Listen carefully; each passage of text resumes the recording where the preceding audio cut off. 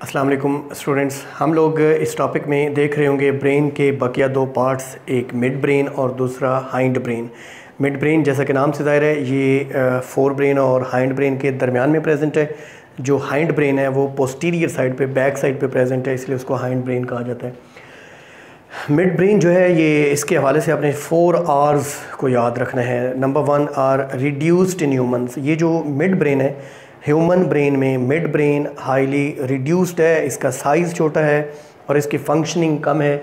दूसरा, ये auditory relay centre है। रिले सेंटर मीन ये एसोसिएट करता है जो ऑडिटरी इम्पल्स है, जो ऑडिटरी इनपुट इन्फॉर्मेशन है, जो कानों से आने वाली ऑडियो इन्फॉर्मेशन है, उसको ये रिलेट करता है, ये एसोसिएट करता है, ये ट्रांसमिट करता है थैलेमस और थैलेमस से फिर वो फर्दर सैरिब्रम में भेजी जाती है, जहाँ पे उसके प्राइमरी प्राइमरी जो एरियाज़ हैं, जहाँ पे उसे रिसीव किया जाता है, उसे प्रोसेस किया जाता है, उसे इंटरप्रेट किया जाता है और सब्जेक्टिव इम्प्रेशन में सैरिब्रम के अंदर बदला जाता है। सब्जेक्टिव इम्प्रेशन मीन वहाँ पे दोबारा से एक इमेज जैसे मैं एक शख्स को देख रहा हूँ तो एक तो वो शख्स एग्जिस्ट कर रहा है ना, दूसरा एक इम्पल्स मेरी आई से मिड ब्रेन वहाँ से होती थैलेमस और जब सैरिब्रम में पहुँची तो वहाँ पे एक और इमेज बनाया गया ब्रेन के अंदर, जिसको सैरिब्रम फिर देखता है, उससे मेमोरी भी जनरेट करता है और मेमोरी की मदद से ही उसे परसीव करता है कि हम क्या देख रहे हैं, किसका इमेज देख रहे हैं या किस को देख रहे हैं। रिफ्लेक्सेस ऑफ़ आइज़ हमने देखा था कि जो आइज़ के रिफ्लेक्सेस हैं ना, जो रिफ्लेक्सेस हैं, जो ऑटोमेटिक और जो अनकॉन्शियस हैं, जो हमारे इख्तियार में नहीं होते, ये हमारा ब्रेन कंट्रोल करता है। ब्रेन का कौन सा पार्ट है जो आई रिफ्लेक्सेस को कंट्रोल करता है? वो है मिड ब्रेन बाकी जो बॉडी के ग्रेट मैनी रिफ्लेक्शंस हैं, जो रिफ्लेक्सेस हैं, वो कंट्रोल करता है कौन? स्पाइनल कार्ड ब्रेन कौन से रिफ्लेक्सेस को कंट्रोल करता है? आइज़ के रिफ्लेक्सेस को. इसके अलावा इसका एक फ़ंक्शन है रेटिकुलर फार्मेशन रेटिक्यूलर ये एक नेटवर्क बनाता है between hind and fore brain इन दोनों के दरमियान ये रिले सेंटर का काम करता है और इन्फॉर्मेशन जो सेंसरी इन्फॉर्मेशन आ रही है ऑडियो और विजुअल वगैरह, उसको फोर ब्रेन में भेजने से पहले स्क्रीनिंग करता है कि कौन सी इन्फॉर्मेशन इंपॉर्टेंट है और कौन सी इन्फॉर्मेशन इंपॉर्टेंट नहीं है। उसकी फिल, फिल, फ़िल्टर करके उसको स्क्रीनिंग करके उसकी चांटी करके उसको फोर ब्रेन तक मुंतकिल करता है। बाज़ ऐसी इन्फॉर्मेशन है बाज़ चीज़ें ऐसी हमें दिखाई दे रही होती जो हम सोच नहीं रहे होते जो मेंटल फैकल्टीज़ हैं जिनको हायर ब्रेन सेंटर कहा जाता है। सैरिब्रम उनको किसी जहमत में नहीं डालना। ताकि वो फजूल में काम ना करते फिरें। तो हाँ ये जो मिड ब्रेन है, ये स्क्रीन कर देता है कि दिस इमेज या this thing which you are looking at is not important to send it into the higher brain centres वहीं पे इनको ख़त्म कर देता है, जैसे हम किसी चीज़ को देख रहे होते हैं, लेकिन हम उसे सोच नहीं रहे होते। जैसे आप लेक्चर पढ़ रहे हैं तो आप टीचर को देख रहे हैं उसकी हरकत सकनात को, लेकिन आप उसे समझ नहीं रहे हैं। उसके बाद जी हाइंड ब्रेन हाइंड ब्रेन जो है, इसके तीन पार्ट्स हैं। एक इसका पार्ट है मेडुला ओबला गेटा मेडुला ओबला गेटा वो पार्ट है जहाँ से स्पाइनल कार्ड शुरू होता है, यानी ब्रेन का आखिरी पार्ट जिसके बाद स्पाइनल कार्ड है। स्पाइनल कार्ड और ब्रेन को आपस में जोड़ता है मेडुला ओबला गेटा इसको ओबलांग गेटा इसलिए कहते हैं कि ये ओबलांग होता है, नीचे को लॉन्ग डाउन होता है, ये नैरोज डाउन होता है और स्पाइनल कार्ड बनाता है। इसके ऊपर ये एक एक एक्सटेंशन प्रेजेंट है जिसको पांस कहते हैं और बैक साइड पे ये एक दिल की शक्ल का एक पत्ता नुमा हिस्सा आपको नज़र आ रहा है, इसको सैरी बैलम कहते हैं। सैरी बैलम लफ्ज़ का मतलब होता है लिटल ब्रेन। ये एक बिल्कुल अलग अलग पार्ट है और इसका बहुत इंपॉर्टेंट फ़ंक्शन है हमारी बॉडी में। हम देखते हैं, मेडूला उबला गैटा क्या करता है। ये हमारी बॉडी के कुछ ऑटोमेटिक फ़ंक्शंस हैं। कुछ अनकॉन्शियसली कंट्रोल्ड फ़ंक्शंस हैं, जैसे ब्रीदिंग सांस लेना ऑटोमेटिकली कंट्रोल हो रहा है।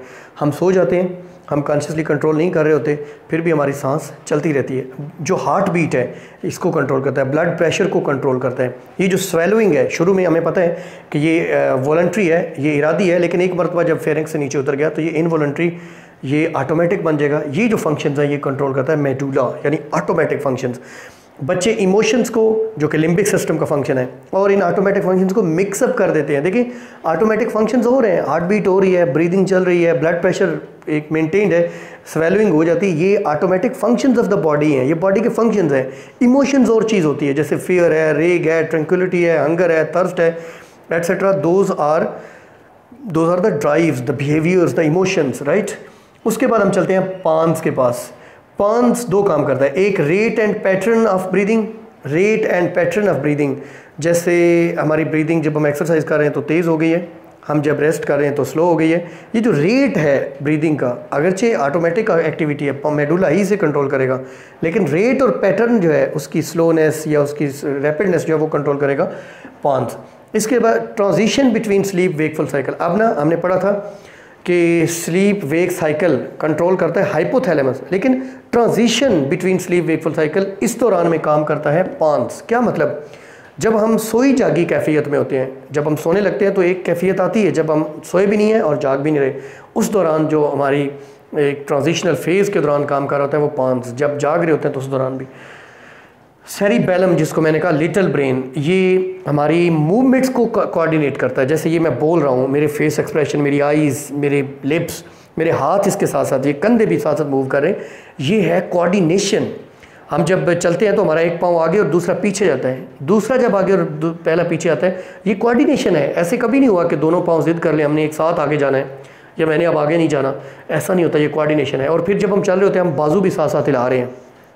राइट ये ये है कोऑर्डिनेटिंग और स्मूथ मूवमेंट ये कंट्रोल कौन करता है? ये सैरी बैलम करता है. इसी तरीके से पॉस्चर ऑफ़ द बॉडी ये बॉडी का जो पॉस्चर है, जैसे मिसाल के तौर पे मैं अक्सर कहा करता हूँ कि दीवार के साथ दोनों पाँव लगाएँ और इस साइड वाला पाँव उठाएँ, आप नहीं उठा सकते. क्यों?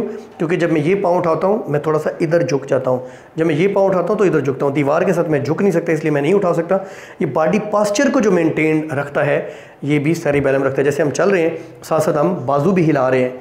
हम, हमारी टांगे भी हिल रही हैं और हमारा हेड भी जो है वो स्विंग स्विंग कर रहा है स्वे कर रहे हैं। तो ये है बॉडी पॉस्चर को कंट्रोल करना। मेमोरी फॉर बिहेवियर्स पीछे मैंने बोल दिया था कि जो हमारा हिप्पो कैंपस है memory for behaviours no long term memory memory about everything जो लॉन्ग टर्म मेमोरी वो बनाता है। मेमोरी फॉर बिहेवियर्स जो है वो सारी बैलम बनाता है। बिहेवियर्स की मेमोरी जैसे हमारी हमारी कोई कोई बिहेवियर डेवलप हो जाता है, जैसे हैबिचुएशन है, हमें किस चीज़ की हैबिट पड़ जाती है, जैसे बच्चे मुँह में उंगली डालते हैं तो ये जो बिहेवियर की मेमोरी है ना, एक रिफ्लेक्स है, एक ऑटोमेटिक काम है, वो नहीं करेंगे तो उन्हें उन्हें रिफ्लेक्स फील होगा, उन्हें बुरा लगेगा तो ये एक मेमोरी फॉर बिहेवियर्स है। सेरिबेलम हाईली डेवलप्ड बर्ड्स में होता है। रीज़न क्या है? बर्ड्स की जो मूवमेंट है, जो मोशन है, वो क्या है? वो एक्सट्रीमली कॉम्प्लिकेटेड है कम्प्लेक्स है। ज़ाहिर है उन्होंने फ़्लाइट करनी है और फ़्लाइट के दौरान परों को भी पढ़ पढ़ाना है। हेड को एक पोजीशन में रखना है और देखना भी है आइज़ को नेविगेशन भी करनी है। तो ये फ़्लाइट जो एक्टिविटी है this is highly complicated and complex इसको कंट्रोल करने के लिए सैरी पैलम हाईली डेवलप्ड चाहिए।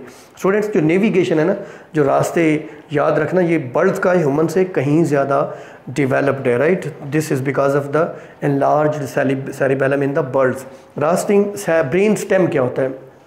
ब्रेन स्टेम ये मिड ब्रेन ये पान्स और मेडुला ओब्लागेटा इन सबको मिला के ब्रेन स्टेम कहते हैं। इनकी एक खास शेप है, जिसकी वजह से इनको ब्रेन स्टेम कहा जाता है। हमारी बुक में जो गिवन टॉपिक्स हैं ये यही था मिड ब्रेन और हाइंड ब्रेन के बारे में। पिछले लेक्चर में हमने फोर ब्रेन को देखा, इस लेक्चर में हमने मिड ब्रेन और हाइंड ब्रेन को देखा। ये था हमारा ये टॉपिक